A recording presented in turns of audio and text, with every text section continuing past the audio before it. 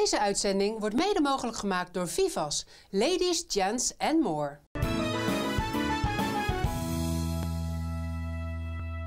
Welkom bij deze editie van De Waard aan tafel met weer uiteenlopende onderwerpen. Hadden we het net al over de energiecoöperatiedesk van de Rabobank met als doel die energietransitie te versnellen, gaan we straks nog praten met uh, pubers die graag in contact met elkaar willen komen in Schoonhoven. Maar allereerst gaan we fietsen. En wel op de elektrische fiets.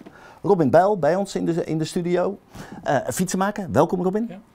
ja. jij hebt alle verstand van de elektrische fietsen. Want ja, hij is eigenlijk niet meer weg te denken uit onze maatschappij tegenwoordig. He, was het vroeger vooral dat ouderen zeg maar, de elektrische fiets pakten?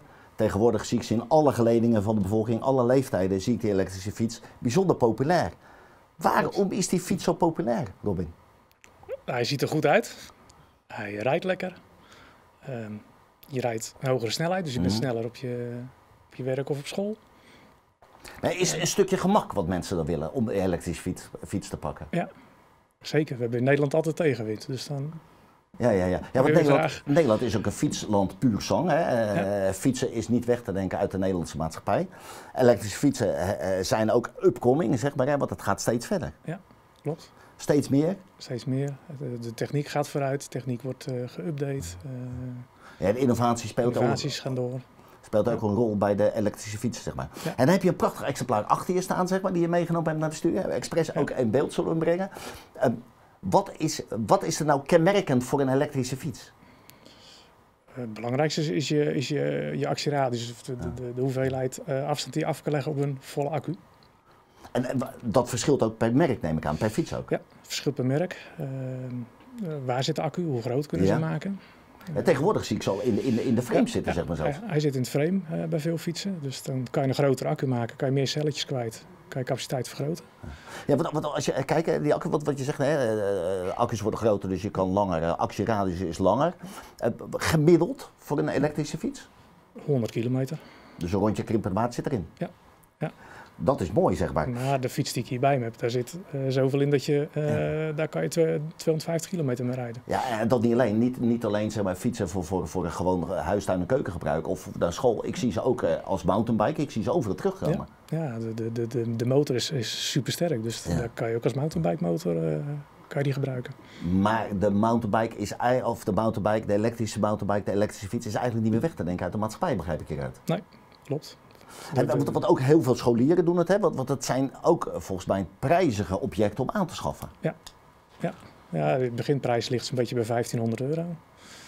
Uh, niet elke scholier krijgt hem, maar nee. uh, scholieren die wat verder weg moeten. Mm -hmm. Het zij naar Gouda, het zij naar Rotterland of uh, in de ja. Als ze gauw 15 kilometer of meer moeten fietsen, dan, ja. dan is dat zeker de overweging waard. Nou, vroeger moesten we ook gewoon fietsen. Hè? In mijn tijd moesten we nog gewoon in weer en wind, uh, tegenwind uh, op de fiets. Hè? ook. Uh, dus wat dat gaat, is het ook een stukje luxe, denk ik, voor de jongeren. Ja, ja. ja mensen, mensen, mensen hebben er meer geld voor over. En, het is een stukje gemak. Wat, een stukje kosten voor het openbaar vervoer die eventueel bespaard kunnen worden. En het dan in de fiets steken. Je, je kan hem pakken wanneer je wil, dus je bent niet aan tijden gebonden. Dus in ieder geval uh, iets, iets wat upcoming is, wat we net al zeiden. Hè. Je zei het al, hè, prijs van aanschaf vanaf 1500 euro. En, uh, nou moet die accu ook opgeladen worden. Ja. Hè. Uh, toename aan fietsen. Is er genoeg, zijn er genoeg faciliteiten op scholen, bij openbare gelegenheden om die fiets allemaal op te kunnen laden? Ook? daar heb ik niet direct een goed antwoord nee. op, maar het zou zomaar kunnen. Maar de andere kant is dat de accu zoveel capaciteit heeft dat op en neer een school of twee keer op en neer een school of misschien wel drie keer, ja. uh, dat je dan gewoon thuis kan laden. Juist. He, en nu we het over het laden hebben, wij horen ook wel eens berichten zeg maar in de pers van uh, nou, dat een accu ontbrandt. Dat horen we ook wel eens bij elektrische auto's, maar ook bij de elektrische fiets. Ja. Gaat men daar ook nog steeds verder in de innovatie in om dat te kunnen voorkomen? Ja, het hangt wel een beetje van je prijs, uh, van je, prijs van je fiets af. Maar dan wil ik gelijk, hè, dan is gelijk de vraag die bij me opkomt, een advies voor een goede elektrische fiets. Nou, als je een goede, goede elektrische fiets hebt, dan is die computer gestuurd. Ja. En dan zal in principe de elektronica van de fiets ingrijpen als er wat fout gaat in de accu. Maar als, je, dus- als je die elektronica er niet in hebt zitten en hij gaat toch in ontbranding mm door een fout in een cel of wat dan ook, ja, dan is die niet meer te stoppen. Nee. En dan gaat hij, en als hij gaat, gaat hij helemaal. Dan uh, krijgen we de terminal runaway, zoals we dat noemen. En dan gaat hij door. Ja. En dan ben jij fietsenmaker, hè? Van, van, van het klassieke uh, banden plakken, uh, fietsen maken, noem maar op, trappetje vervangen, snelbinders vervangen. Ja. Heb je nu wel een taak erbij gekregen waar je ook zeg maar innovatief mee bezig moet zijn? Ja, ik moet ze nu aan de laptop hangen. Ja. ja. Dus ik ben ze nu aan het uitlezen. Het en dan lees je de fout uit en daar kan je weer een herstel... Kan ik, kan, ik, kan ik een herstel... Softwarematig... Uh, ja, kan ik of software herstellen of ik kan zien waar de fout zit en dan is of het onderdeel defect of niet. Of het is uh, middels software weer op te lossen.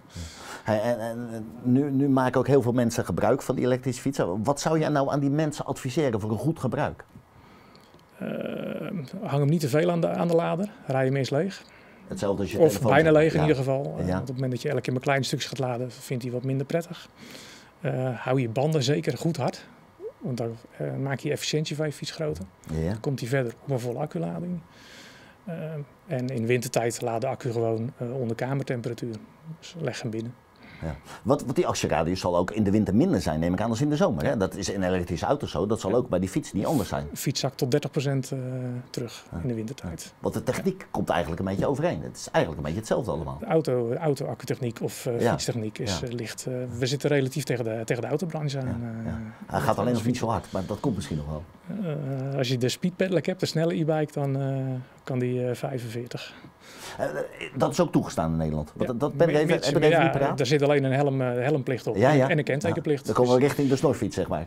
Ja, een bromfiets eigenlijk. Het is eigenlijk gewoon een bromfiets, maar dan moet je hem zelf voortbewegen door pedaalkracht. Nu je het over die helm hebt, die helmplicht. Zou het noodzakelijk zijn om een helm te dragen op een elektrische fiets, naar jouw mening? Ja, ik vind het, het wordt, het wordt steeds drukker in het verkeer. Ik vind, het, wel een, ik vind het wel een veiligheidsdingetje. Ik, uh, moet zeggen dat toen van het voorjaar een, een krantenbericht daaraan besteed werd, meen even door het AD. Ja.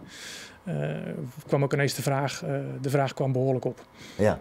En, en die discussie zal zeker weer een keer aangezwengeld worden om, om zeg maar, dat landelijk in te voeren, denk ik. Ik denk dat we er nog niet vanaf zijn, want de landen om ons heen hebben ook een, uh, in een bepaalde mate een helmplicht voor de fiets. Dus.